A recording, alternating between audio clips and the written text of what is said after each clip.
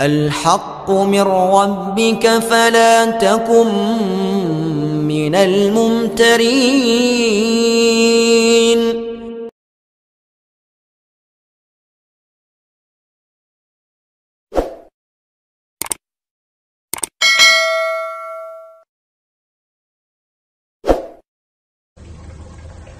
Gajah diburu orang karena gadingnya. Rusa menjadi indah karena tanduknya. Dan badak dikejar orang karena culaknya. Gajah yang tak bergading, rusa yang tak bertanduk, bahkan badak yang tak berculak. Segera kehilangan keindahannya. Demikian kalau ini kita pindahkan kepada nilai-nilai keimanan. Orang yang beriman dikenal karena ia punya ciri, punya tanda. Apa tandanya? Al-Anfal ayat 2 dan 3 menjelaskan itu. Innamal mu'minun Sesungguhnya yang benar-benar dinamakan orang beriman itu Siapa mereka? Pertama Alladzina idza dzukirallahu wajilat qulubuhum Apabila disebut nama Allah bergetar hatinya Nama Allah sanggup menggugah jiwanya Bagaimana ini bisa terjadi? Dalam hidup Allah memberikan satu hati kepada kita. Di hati yang cuma satu itu terkumpul sejuta rasa. Apa yang paling mengambil tempat terbesar di hati kita, itulah yang kalau disebut hati akan bergetar. Jadi kalau hati sepenuhnya sebagian besar diisi harta, di sebagian besar diisi pangkat dan jawatan, sebagian besar diisi dengan segala macam yang lain, itu yang akan membuat dia bergetar. Orang-orang yang beriman, sebagian besar hatinya diisi oleh Allah. Nama Allah sanggup menggugah jiwanya, menggetarkan hatinya. Dari sini timbul sikap etika otonom. Sekarang ini pun ditekan orang. Hei, kamu korupsi ya? Biar aja. Orang kan tahu, nggak apa-apa. Tuhan kan tahu, biarin. Tuhan tahu nggak ribut. Tapi kalau orang tahu tiga orang saja ribut sudah geger. Tuhan nggak ribut katanya. Bagaimana mau menggetarkan hati seperti itu? Orang yang beriman sebagian besar hatinya diisi Allah. Sehingga kalau disebut nama Allah bergetar dan pada gilirannya sanggup menggetarkan hati orang lain. Bukankah pada satu saat ketika Rasul sedang tidur datang orang kafir bernama Daksur menghunus pedang. Muhammad, kalau saya tebas batang lehermu, siapa yang akan menolongmu sekarang? Dengan tenang dan tegar Rasul menjawab, Allah yang akan menolong saya. Mendengar kalimat Allah Daksur gemetar, pedang jatuh, diambil oleh Rasul. Kalau sekarang saya balikan pedang ini ke lehermu, siapa yang akan menolongmu Daksur? Tidak ada ya Rasul kecuali kalau kau mau memaafkan saya. Diberikan pedang itu oleh Rasul. Jangan ulangi lagi perbuatanmu. Dua sisi dari cerita pendek ini. Pertama, bagaimana mudahnya Rasul memaafkan orang yang nyata-nyata mau menghabisi jiwanya. Yang kedua, kalimat Allah ketika diucapkan oleh Rasul yang batinnya bersih menggetarkan daksur, menggetarkan hati orang lain. Yang kedua, wa idza tuliyat alaihim ayatuhu zadathum imana. Orang beriman itu kalau dibacakan kepada mereka ayat-ayat Allah bertambah keimanannya. Apa ayat Allah itu? Tanda-tanda Allah. Ada berapa ayat Allah? Ada dua. Pertama ayat yang terucap oleh Allah. Biasa kita sebut wahyu. Yang kedua ayat yang tercipta oleh Allah. Alam semesta jagat raya ini. Adapun orang-orang yang beriman melihat ayat Allah yang tercipta, membaca ayat Allah yang terucap, semakin bertambah imannya. Dia berdiri di tepi pantai, Bukan main lautan luas terhampar biru membentang, ombak menghempas diri ke tepian. Kalau laut saja begini hebat, apalagi yang bikin laut. Allahu Akbar. Dia tidak memuji laut, tapi dia memuji yang bikin itu laut. Bukan main gunung menjulang tinggi, menunjang angkasa. Kalau laut, gunung saja begini hebat, apalagi yang bikin itu gunung. Bukan main otak manusia, dengan kemajuan ilmu dan teknologi, nyaris tidak ada yang rahasia lagi dalam kehidupan ini. Kalau otak saja begitu hebat, apalagi yang bikin otak. Dia tidak memuji otak, dia memuji yang bikin otak. Apa pun yang dia saksikan, dia kembali kepada Rabbana ma khalaqta hadza batila. Tuhan, tidak satu pun yang engkau ciptakan ini dengan sia-sia. Baik ayat Allah yang tercipta alam semesta jagat raya. Baik ayat yang terucap wahyu ini. Keduanya kalau dibacakan semakin menambah keimanannya. Kita pandai baca ayat yang terucap oleh Allah. Sering kita khatam Quran. Tapi kita kurang pandai membaca ayat yang tercipta oleh Allah. Bumi ini ayat Allah. Baca. Mengandung gas, minyak, batu bara. Pakai apa membaca ayat Allah di bumi? Pakai ilmu geologi.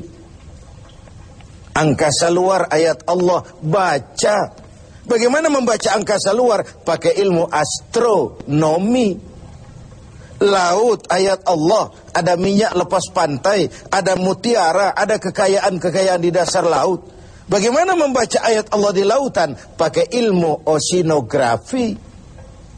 Hasil pengkajian ini Rabbana ma khalaqta hadza batila. Tuhan, tidak satu pun yang kau ciptakan ini sia-sia. Semua ada manfaatnya. Maka orang beriman semakin dibacakan ayat Allah, baik yang tercipta maupun yang terucap, imannya semakin tambah. Kajiannya kepada alam semesta makin mendekatkan dia kepada Allah Subhanahu wa taala. Yang ketiga, wa ala rabbihim yatawakkalun. Orang yang beriman itu hanya berserah diri kepada Allah. Berserah diri artinya menyerahkan hasil usahanya. Bukan belum-belum sudah, sudah terserah Tuhan saja, terserah Tuhan. Bukan. Tawakal itu bukan bukan fase pertama, fase terakhir. Bekerja sebagaimana harusnya. Berusaha sebagaimana mestinya. Gunakan tenaga yang paling profesional. Pakai teknologi yang paling canggih. Setelah semua itu terlaksana, baru wa ala rabbihim yatawakkalun. Berdoa, mohon pertolongan Allah, kemudian berserah diri sepenuhnya. Kalau dia berhasil, dia tidak lupa diri. Kalau dia gagal, dia tidak putus asa. Bukan lalu kita jadi apatis. Bukan lalu kita belum apa-apa sudah terserah Tuhan. Tidak. Wa ala rabbihim yatawakkalun menyerahkan segala hasil usahanya kepada Allah Subhanahu wa taala. Dari situ dia husnuzan, baik sangka kepada Allah. Kalau gagal cuma tertunda. Kalau berhasil tidak lupa daratan. Dan husnuzon ini penting Sebab kalau tidak buruk sangka saja kita Saya akan sholatnya rajin kok rezeki syarat benar sih Saya akan puasanya nggak bocor-bocor Tapi mau lebaran kok nggak dapat THR sih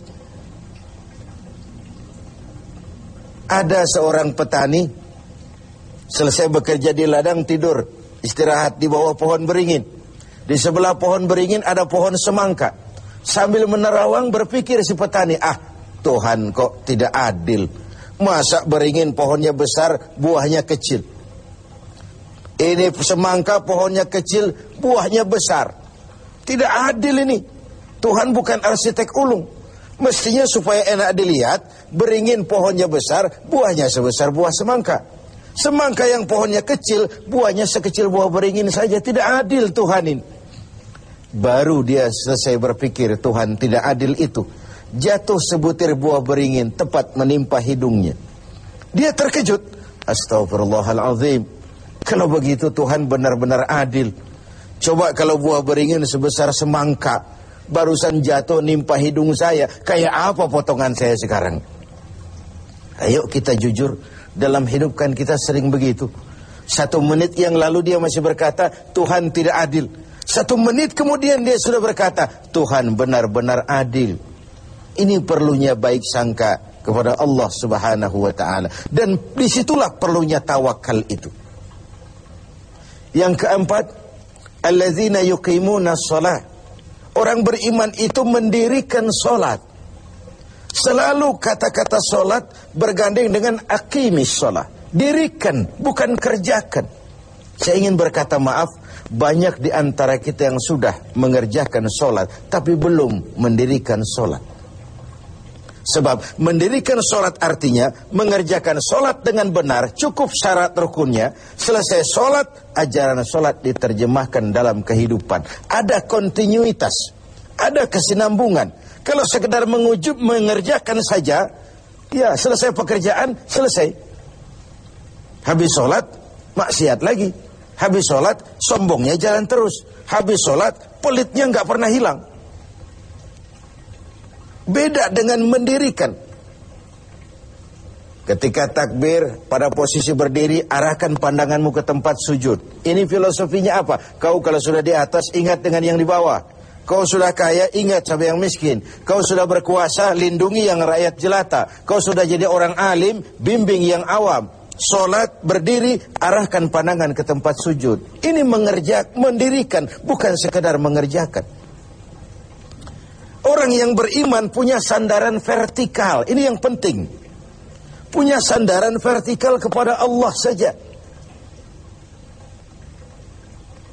Kalau kita bersandar ke tiang, tiangnya runtuh, rubuh, kita jatuh. Kita bersandar kepada orang kaya, dia jatuh miskin, kita selesai. Bersandar kita kepada jenderal, dia pensiun, kita tamat.